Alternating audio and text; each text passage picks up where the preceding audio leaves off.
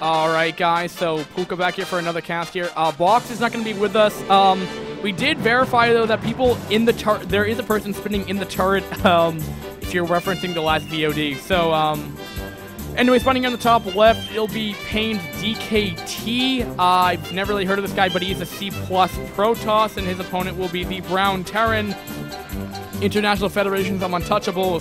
Cryoc here. Cryoc is a force to be reckoned with. Now, if you guys watch a lot of my casts, you should know my other, probably my most frequent co-caster would be um, BMW. BMW is um, the leader of that clan. So, uh, yeah. Um, I've used a pretty high-level clan. I think they're 0-2 in Gambit Cup, though, last time he told me. So, uh, they're having a little bit of difficulty in Gambit Cup, so let's show them some love. Now, he's from whatever DE for our country code is that. I, I, maybe Germany, maybe. I don't want to assume anything though. I could be completely wrong. And uh, the fanfare is over. That means we go back to traditional Brood War sounds here.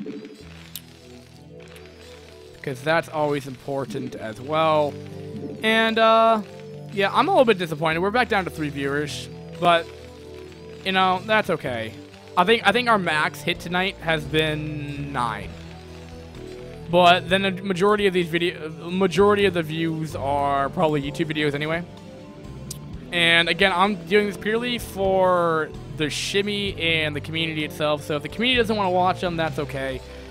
But they are there if someone would like to view them. Uh, that being said, it looks like DKT is going to be scouting the wrong location here. DKT is also going to be getting gas. Things are looking um, pretty standard. Nothing out of the ordinary. I'll point out anything that tends to be very out of the ordinary here. Um, out of the ordinary. Now, for any person that's like new to Brood War, what because um, this is pretty much as far as my analysis goes. Um, the most standard build probably in this matchup for Protoss would be getting a gate at 12, then the simulator, then Cybercore, which finished around 245-ish. And then you could follow up with a second gate if you'd like to, and then just, you know, rally over Goon, see if you can, you know, do some damage, and then you can follow that up into an exp expansion. That's when it gets a little bit more diverse, but you normally do like a two-gate Goon pressure. Cryoc can do uh, a couple different things. He can go a two-fact, he can go an FD push, he can just go for um, a siege expand. Um, Terran has a little bit more options. Um, I mean, Cryoc obviously could just go for an expansion himself, but um, you are at a little bit of a risk um, of not knowing what your Terran friend's doing. He could be, you know, powering up a lot more than you are. He may be getting a lot more greedy, and then you want to punish that. So it's always better to get units out in the field than no units. unless you're getting, like, really greedy by going, like, double Nexus build, which you'd probably just die outright to an FD push, but you could try it. And now I'm suddenly lonely without Box. I've, I haven't talked to him um, quite some time. It's always nice to have him back on. Um, I wouldn't get used to him. He, he's not very knowledgeable in StarCraft, uh, or Brood War, rather. Um, he's, he's a chill guy, though. Um, we like to have him on. And uh, nice denying of the Scout, though, by DKT, though. So, um, also to note though that these players, according to their to their iCCup ranks, are of similar skill. I mean, there is a gap of skill between you know C plus and B minus because there are two different ranks, obviously. But I'd say it's a probably even matchup, at least in terms of just purely looking at on a skill on skill basis here. I don't really know Cryoc's play style. I know Games likes to go. A game likes to go a lot of one-base play, um, very aggressive Terran, and it makes sense if you're a random, you just want to pressure as much as you can, um, and it totally makes sense, because you don't know, when, when you're playing against a random, a lot of players don't even, uh, most players don't, if you're on like Fish or something, they'll just leave if you're a random, um, because a lot of time players will just rush you, um, and you don't really know what kind of cheese do you have to really go up against. Do you have to carry? Do you have to worry about a, you know, a proxy can rush? Do you have to worry about The way you handle each of those is very different. very hard to handle every single scenario. So that's why random isn't normally thing. That's probably why race picking is probably more there than an option. All right, so it's gonna be an FD push from Cryoc here. Not a bad move. Um, he's gonna be getting Vulture speed here. FD push means fake double push, if you're wondering. Um, but this is actually nice what DKT, uh, DKT is doing right now. If DKT, well, it's range done, yeah, because range is done, he should be going in there, you know, kiting a little bit. That's what he wants to be doing here. This normally just thwarts an FD push. Um, you know, he's not doing as, as much as some other Protosses might doing it might just because of his APM. Um, you know, it might it might be too much of a toll on his APM. But this FD push though is getting a little powerful. He may set up bunker. Um, potentially he could repair this. Um, get some spider mines. Um, no. All right, so he's just gonna pull out. Um, I think he feels he's done enough damage. Um, there was really no way for him to push up the ramp though. Um, something that uh, Elegant has said in Gambit Cupcast that an FD push really will never will rare if ever or rarely ever go push up a Protoss ramp. It's just there to put on some pressure right there. I mean, if you just saw it, it it's just there to put on pressure. Um, looking at it like a purely as just of like what has been done, not too much. I mean, literally speaking, it, it was just like, well, I just sent over units there. I killed off. I, I damaged some goons, and that's pretty much all I did. I put down a I put down a spider mine that he deactivated. It appears, and yeah. So I mean, much. I mean, on paper, it didn't do too much. In more realistic Brood War terms, it it it just puts on some pressure to your opponent. It pushes them back. It allows you to set up some more stuff, i.e., your bunker. Um, it gives you some more breathing room. It allows you to be in control of the of map control for a little while. I mean, he's forfeited it now, um, and we'll see how uh, DKT reacts to that. DKT is going to look like he's going to be engaging here. It's not going to do too much. Um, this isn't going to be a siege expand where he's going to have the ability to really potentially just continue to attack this bunker or try to take it down. There's so many tanks out already. Um, he's attacking the bunker, though, where the tanks aren't going to be in range to kill it. Um, uh, the bunker's at risk of going down, though. He's going to be sieging up, though. All this is going to go down. No, leaves with 1 HP. And, uh, yeah, look, I mean, Croc's going to be totally fine. Three, three, three siege tanks in the back. Um, DKT has a couple options here. We have actually a, a sending over a Vulture already. Probably should rally this, this goon up there just to stop that from really doing too much damage in general. Um, because it's it's just annoying because he can't rally probes or anything over there. He can't put down cans. He can't pile on block that. But there we go. There's a goon, uh, goon up there to help defend. He's just rallying units over here. Eventually, Croc will push out with a couple tanks and stuff, and will fend this off. This, obviously, again, this isn't really doing too much. It's just setting up a contain that really, you know, thwarts, you know, map control, even though that this vulture has somehow gone through that. But, yeah. Uh, I mean, it, this is by no means he's going to pressure. It's just standard Brood War shenanigans going down. There's a reason for it. It's the reason for getting map control. It's reason to allow him to get up his expands. It allows him to stop any kind of vulture run-bys. Or try to stop. But um, uh, is this gonna be a hard push, or is he just re or is he just gonna be resetting up here? More sieging up here. Oh, but oh my DKT though might be able to snipe out these tanks right here. It looks like he's gonna be trying to go for it, but the spider mines though. There's a nice spread on the goons right here. He's gonna snipe off all the tanks here. There's nothing left here though. This is absolutely, absolutely phenomenal by DKT though. you know, going right in at that time right there possibly another reason why you want to keep up those uh, Dragoons here, but there's the Spider Mines to stop any kind of reinforcements here. The SCV should be able to clean this up. SCVs are pretty good against goons, um, not. And they're the, um, well, you gotta continue to rally down here. Um, but once tanks get on the high ground, though, I think this is gonna have to be pushed back right here. But this is actually really great uh, for DKT, though. DKT is uh, in a little bit of a pickle right here. Um, and well, I mean, Cryoc, rather, um, has put, DKT has put Cryoc in a pickle right now. He'll be, he'll be able to, you know, adjust, but this is really helping him, allow him to probe up a little bit more, allow him to maybe take a fourth base that he'd like to. Cryoc is up off, off of four bases now, off of four gates, so not a bad at all right here. I'm also wondering at the probe counts here. Um, while we're looking at 41 SCVs to 35 probes, though. Um, to put that in perspective here, guys, DKT's been has been really, really cutting probes up to this point. So you might think that DKT might be in such a really good, phenomenal position to kill off tanks and stuff like that. That's that's great. But now look at this, though. DKT went in there, killed off a couple SCVs, but he's not, he doesn't have an economic lead anymore. He's killed off SCVs. That's not bad. But DKT now doesn't have, he's not going to have an equal, he might now be on an equal footing, 42 to 45. So he's, he's trying to do that, but a couple idle. you know, probes right there. He's making a ton of probes at once right now.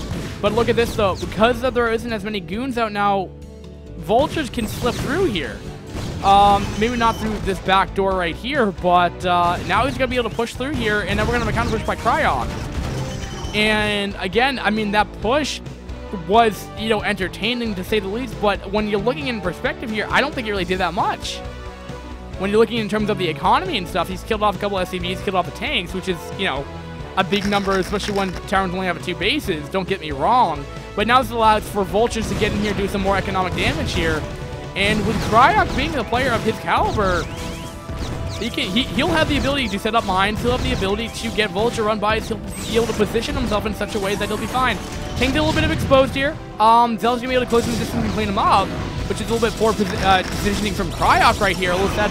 Nice mine drag, though, which will soften them up here, but we have more um, reinforcing goons from the south side that will be able to clean up the rest of the, uh, this Vultures here. So both players kind of trading right here. Uh, it's hard to say who came up on top. I think it comes down to how cautious now Croc's with, with his tanks here. Now he's sending over three bear tanks without any kind of vulture support here, and he's gonna let them just kind of go down there. Um, but he's able to, you know, kill off a couple goons right here. Looks like he's gonna be sending them home right now. I like that decision right now. And, uh, yeah. And we're gonna try to have a vulture run by happening over here, though. Kind of stopping right there, but has found a sweet spot. He's gonna, he's getting, he's being aggroed to the cannon, only getting, I think, one probe kill in the mix right there. Um, I really wish to have, I could have a, um, a, uh, you know, units, uh, units lost tab here, but that's okay. And Krog is a very aggressive Terran. I will give him that. He's still only off of two bases here, which maybe if he's off of four facts, he's, he's off of six facts. He's going mainly vultures. Um, and, okay, so he has a third base coming up now, okay. I was going to say he's all in pretty much up to this point. Um, but he's continuing to trade effectively, which is the important thing. Um, now, of course, he may be weighted. The Protoss army might be bigger. He may need more tanks here. I, I, I am honestly, I'm, I'm torn to say who's ahead. I mean, 50 SCVs to 52 probes.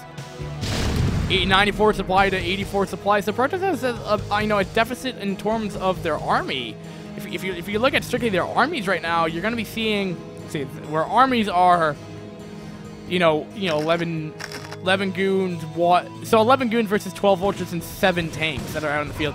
So Cryoc is looking like he's going to get the upper hand here. He's starting to cut the map. He's getting a lot of mines spread out, and this game has been very entertaining to say the least.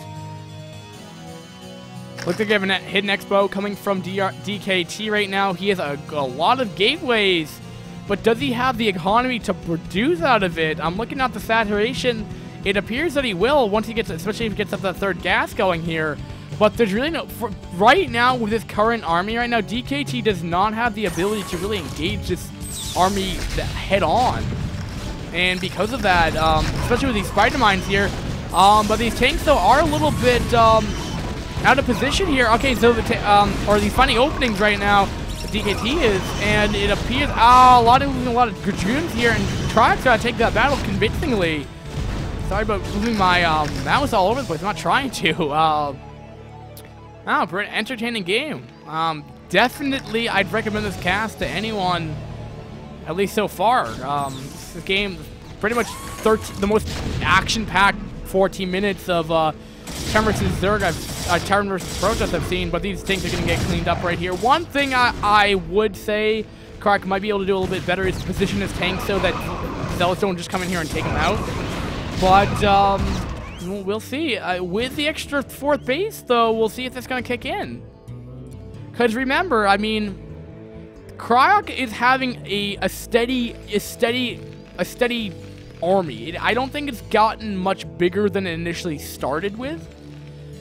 That being said, he's cutting, he's kind of cutting off reinforcements to the third in some ways. Um, generally speaking, you'd probably want to keep your army as protests around this area to keep off. You know, you can you start defending off this fourth base here, but the Vulture does get in right here. Will he see the Nexus? Um, probably the Gateway should identify that, though. And it doesn't look like the Goon will die, though. He's going to be trying to pressure this, though, but there's a lot of Zealots here. But are the Vultures going to be in position here? The tanks are, uh, the Zealots are going to go straight for the tanks there. I like that by DKT. And uh, there is a nice spread from Cryoc right here. it, it's hard to say, but I think DKT is going to take this this army out at least. Now, back at home base for Cryoc, um, not too much. Uh, we're up to six factories, like three base, standard three base fighting spirit style. Um, but 114, um, again, it's kind of, he, Cryoc, I want to say kind of went all in with that. Um, it just didn't work for him. Cryoc didn't have the ability to really do the damage he needed to do. It was entertaining. Uh, but again, it's kind of like the same thing we said for DKT. If you're looking at the supplies now, um, 58 to 58, uh, but equal than Harvesters here. But if you look at the armies, 15 Zealots, 10 Goons, uh, and versus 7 Vultures and 5 Tanks. Um, that's definitely going in Protoss's favor right here. We're 15 minutes in the game, no Arbiter Tech to be seen, though. Um, and kind of showing exactly kind of how, um, in Gambit Cup, how um, Artanis for reps, I think it was. No, no, Sir, uh, Sir's Artanis, I think, kind of showed how uh, Protoss can go without um, Arbiter Tech somehow. But uh, this is really, really nice, but what DKT is doing, stalling the third base for as long as possible. 14 SCVs have been killed off in general from this entire engagement here, giving you perspective how many um, SCVs. Uh, Harvest 62 to 44. That's a pretty big gap in between that. Not to mention that that's a whole other base saturated for, for uh, DKT right here. And just barely Cryoc's going to hold on to his third base here, but more reinforcements are coming from DKT right here, going, pushing up that ramp immediately. And it looks like he's just kind of more than enough goons to go in here. Plus one versus plus one um, upgrades are the same right here. DKT just going to be, does have the high ground advantage right here, and I think he's going to be able to take this. More SCVs are transferring though, but not in a good way, guys. This is just going to get easily picked up by the Zealots. Another just handful of SCVs are going, or just falling apart here. DKT is playing, you know, brilliantly right here. And it's, it's DKT, Pain DKT, man, this guy is good. Um, I'll be interested how he's going to do in, in Clan League, but, uh, whew. All right, DKT is going to be going here again, and again, these tanks are just, are always being susceptible to Zealots by Cryoc here. It's a little disappointing. Um, but the sheer amount of, uh, of uh, tanks that Cryoc has lost this game just from, like, losing two tanks to, like, one one Zealot, it's, it's disappointing. It's poor control. But, um... Cryoc's been, but Cryoc's been holding his own, though. I mean, up to this point, I mean, I mean, really, he's been only off of two bases this entire time. Um, his main thing mined out, so this may be all she wrote. This may be the last push that really Cryoc can really uh, like economically do, other than trying to put down another Expo, which he might be trying to do, um, desperately trying to get get against his five base Protoss. And you know, Cryoc could have played the passive three uh, the three base style Terran, but he wanted to be a little bit more aggressive. And it it seems it hasn't really paid off for him this game. Um, however, though, it may if he can break through these uh, these uh, Dragoons right here, but we have a lot of vol uh, of um, units coming here from DKT, coming from the west to the east to eastbound. But those Vult those Spider-Mans are delaying for time, but he's actually not sending the Vultures into the mineral line here. That's exactly, but that's what he needs to be doing, though. That's the thing. I guess he's trying to put down more Spider Mines. If he can siege, he can siege that mineral line here, that would be absolutely huge, guys. Going into this, 41 SCVs at 67 probes That's a very healthy worker count here, but it looks like this will be taken out. And without any economic damage being done from Cryoc to DKT, uh, DKT will take this game, guys. So pretty entertaining. Terran versus Protoss for sure. And uh, we're going to go to next game, guys. Um, so Croc does lose game one. I'm a DKT fan. Awesome. Awesome game. I wonder what college